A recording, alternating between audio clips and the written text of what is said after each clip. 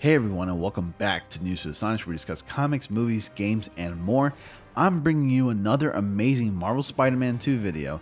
We're going to talk about what kind of comic book stories Insomniac Games is looking to adapt for Marvel Spider-Man 2. A lot of people have their own preferences when it comes to Venom stories, but as soon as people heard Kraven's voice in Marvel Spider-Man 2 trailer, people were jumping to Kraven's Last Hunt, one of Spider-Man's darkest comic book storylines of all time. Naturally, I think the same, and of course, I'd speculate about what we can expect in the forthcoming sequel. So, before I get started, I want you all to like, comment, subscribe, and click on the bell notification so y'all don't miss videos like this. I post videos every day, typically around 12 p.m. Eastern time, so calculate whatever time zone that is for you. I live stream on Tuesdays and Sundays, 8.30 to 10.30 p.m. Eastern time, both on my YouTube channel and Twitch, and solely on Twitch on Thursdays at the same time. Link to my Twitch channel is in the description box below along with the links to my discord and social media instagram and twitter enough of that shameless plug-in let's talk about what storylines insomniac games can adapt from marvel spider-man 2 you know i've been really thinking about what stories insomniac games could possibly adapt this past week in fact and honestly it can go in several directions insomniac games seems to be heading in their own direction when it comes to venom but that's not to say that they won't take any cues or easter eggs from the comics and put them in the game one of the Spider-Man's darkest storylines, Kraven's Last Hunt, seems like an obvious choice to adapt from Marvel Spider-Man 2, but honestly, I think that's way too easy, and one can assume that's the direction Insomniac Games is going.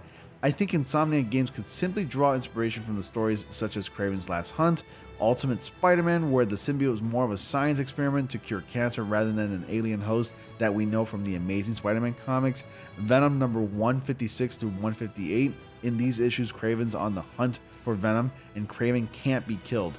Even Venom Dark Origin, a comic series, in my opinion, that's quite overlooked. In that series, those issues kind of contradict much of Eddie Brock's backstory as portrayed in the Amazing Spider Man comics.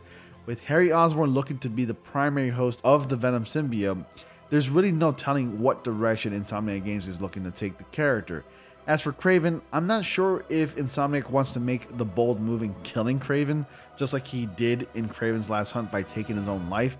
I doubt Insomniac Games wants to give any of these Spider-Man villains the permadeath treatment. I'd love to see a Marvel's Venom spin-off in the horizon. And with Marvel's Wolverine on the way, the possibility of a Venom spin-off is on the table. That's only wishful thinking though. But you let me know your thoughts. Do you think any of the comic book storylines can be adapted into the forthcoming sequel, or will Insomniac Games give their own spin by creating a new story altogether? I think I prefer an original story, one we haven't seen before. I'm really open to that idea. But you let me know in the comments section. What storylines would you like to see adapted from the comics, or do you prefer an original story? Do you think that maybe the Lethal Protector storylines from the Venom comics could be possibly adapted into Marvel Spider-Man 2.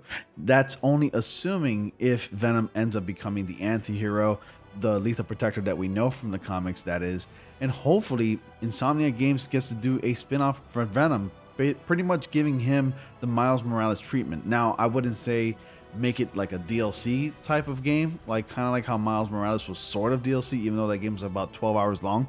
But I would love to play as Venom in 4K 60 FPS quality we're talking like probably the best looking Venom game there is. I mean, there's not even really a Venom solo game, but a Venom solo game would be amazing. Like we definitely need a Venom solo game. The last time we even got to play as Venom, at least like in an open world, is basically Ultimate Spider-Man for the PS2. You guys probably played that game before. Those of you who are viewers right here on my channel, but I want to see Venom in his monstrous form, like like basically in an HD 4K form.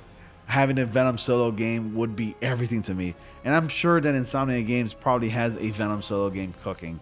But anyways, those are just my theories that I just wanted to share with you guys.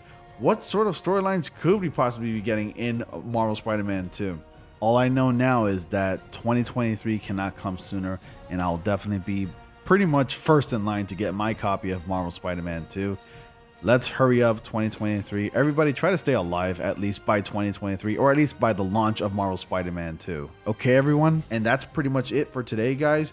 Thank you so much for watching. I know it's a bit of a short one, but I really want to get a conversation going. With Insomniac Games' announcements of two games in the PlayStation Showcase, who knows what projects they could be working on. Anyways, thanks for watching. Be sure to like, comment, subscribe, and click on the bell notification so you all don't miss anything. And I will see you all in the next comic panel.